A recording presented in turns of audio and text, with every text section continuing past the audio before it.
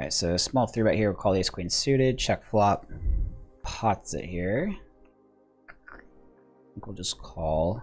Five turn check. Is any king, any nine? Bets again. I think we probably have to call again. And seven river. Do I ever lead jam trying to get this player to make a big fold? Wrap like I have a nine. I think I'm gonna try it here. About pot and a half. Trying to make them if they have like an overpair.